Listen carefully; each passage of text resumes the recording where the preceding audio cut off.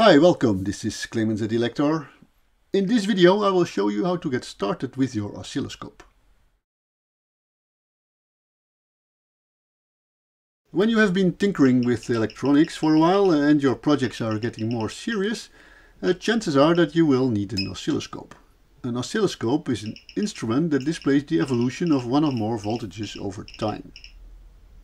Of course you already invested in a multimeter, which is great, but an oscilloscope can do things you cannot do with a multimeter. However, uh, oscilloscopes are also much more complex instruments than multimeters, and so it takes some time and practice to get the most out of them. Oscilloscopes used to be expensive, but today prices have dropped so much that almost anyone can afford one. Already many years ago I bought this one online for around 100 euros and it has always worked great for me. For most hobbyists, the tinker-maker applications, a basic oscilloscope is more than good enough. If your thing is Arduino or Raspberry Pi based projects or uh, building and repairing audio amplifiers or musical instruments or guitar effects, there really is no need to invest in a 4 or more channel uh, oscilloscope with hundreds of megahertz of bandwidth and many gigasamples. A 2 channel 20 to 50 megahertz oscilloscope is just fine.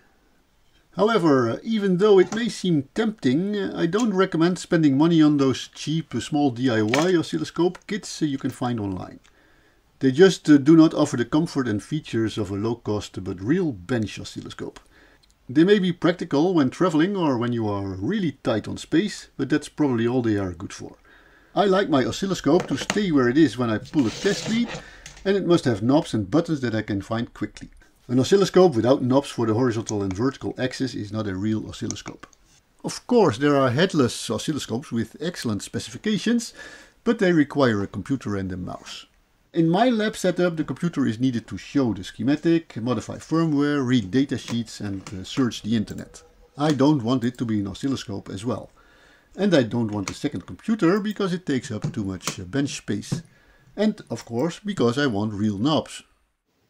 Today oscilloscopes are 100% digital and they are called DSOs.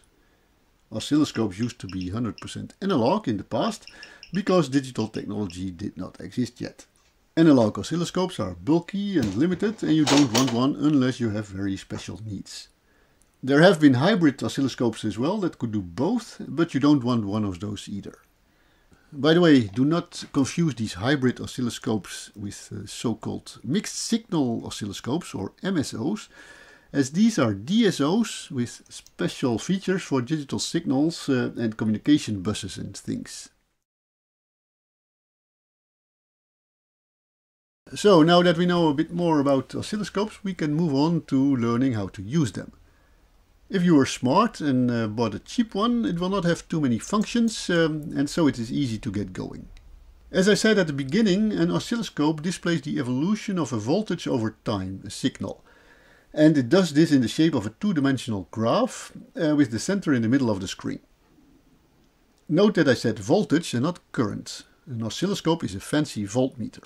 Because it displays signals as graphs, an oscilloscope has controls to adjust the horizontal and vertical axis of the graph.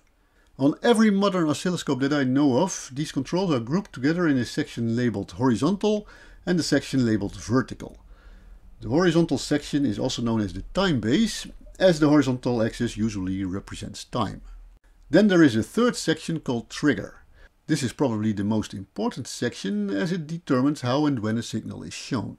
Often it is easy enough to get the signal you are measuring to fit on the screen by adjusting the horizontal and vertical axis.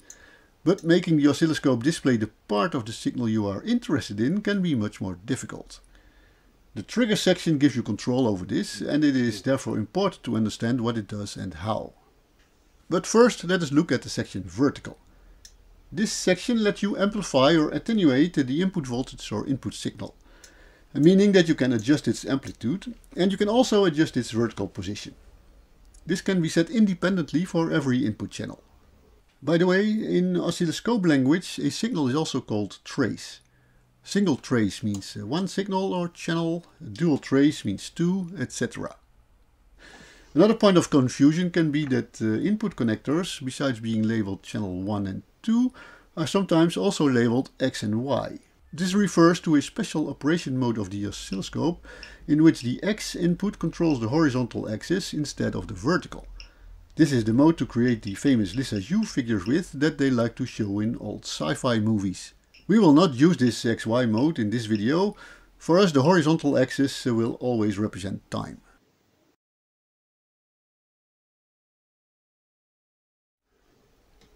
Connect a probe to one of the channel connectors, not to the X, trigger, aux or Z connector. Note that probes often have a switch to choose between 1 to 1 or 10 to 1. This is an extra attenuation option that allows large signals to fit or to improve the precision of measurements uh, of sensitive signals. Some people always use 10 to 1 attenuation mode and there exist probes that are always in 10 to 1 mode. It is often possible to inform the oscilloscope about the type of probe you are using, so it can adapt the scales accordingly. Before connecting the tip of the probe to the signal of interest, first connect the crocodile clip attached to the probe to the ground reference of the circuit under test. As a general rule, uh, connect it as close as possible to the signal. However, in many cases this is not so important uh, as long as it is connected to ground somewhere. It can even be convenient to use the crocodile clip of a second probe just for connecting to ground, so you can remove the crocodile clip of the measuring probe and keep it out of your way. Note that ground doesn't have to be ground, it can be any voltage or signal in the circuit, but it must be the same for every vertical channel. Also note that probe ground is uh, usually connected to oscilloscope ground, which can be connected to mains ground. So if you connect the probe ground to something other than ground, short circuits may be created and dangerous situations may arise. Therefore, we only connect the crocodile clip to ground. With the knob in the section horizontal, you can zoom in and out on the time scale and you can move the signal to the left or to the right. Usually the center of the screen is zero. Up to now I was supposing that you did see something on the display of the oscilloscope, but maybe you didn't. One reason can be that the trace is not on the screen. Use the vertical level control to find it. Another reason may be that the brightness is too low. If it is, uh, crank it up. A third reason can be a trigger problem. If your oscilloscope has an auto setup button or something similar, now is a good time to press it. After doing so you may not see what you expected, but uh, you should at least see something. Use the vertical and horizontal knobs to bring the signal into range. Triggering is what makes an oscilloscope really useful, as it allows you to focus on the interesting part of a signal. A trigger is needed to start a trace. If there is no trigger, the trace will not start and you will not see anything. This is why an oscilloscope features several options for triggering. One might even argue that the more trigger options an oscilloscope has, the better it is. In my world, every oscilloscope features at least automatic and normal triggering, adjustable trigger level, up and down or positive and negative trigger slopes, and has an external trigger input. The first thing to do is uh, select the source for the trigger signal. Usually it is one of the signals you want to look at, but it can be a signal generated by another device altogether. In this example we will choose channel 1, the same channel as our test signal. Automatic triggering is easiest to use. In this mode the oscilloscope decides when to trigger and the user can set the trigger level and choose the slope to trigger on. This mode is useful for quickly seeing if uh, something is going on on an input or to simply measure a DC voltage. In normal mode the oscilloscope only triggers when the trigger level and slope conditions are met or any other trigger condition that you may have specified. After a trigger the trace will run until it falls off at the right side of the screen. A new trigger is required to start it again. This mode is good for infrequent events or to filter out special events.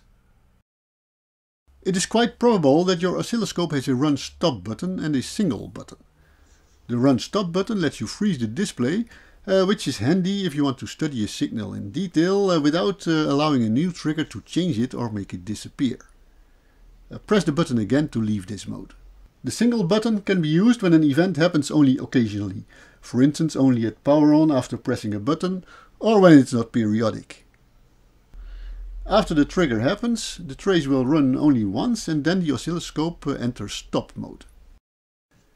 Depending on the oscilloscope there can be more trigger options. Typical options go from uh, triggering on both uh, slopes or on a time delay between slopes, uh, a pulse so to speak, or to triggering on a sequence uh, inside or outside a window uh, with delays and whatnot. As I said before, the more trigger options, the better. We will stop here. Your oscilloscope probably has several other buttons not covered in this video, uh, but now that you know how to get a stable signal on its display, uh, you can explore these functions yourself. Whatever you do, always keep in mind that uh, before measuring anything, you should have an idea of what to expect so that you can compare the result to what it is supposed to be. If you don't know what to expect, then you can't tell if it's wrong or if it's right. Okay, that's it. I hope you found it interesting. Uh, please don't forget to subscribe to our channel and uh, click or tap the bell button. Thank you for watching.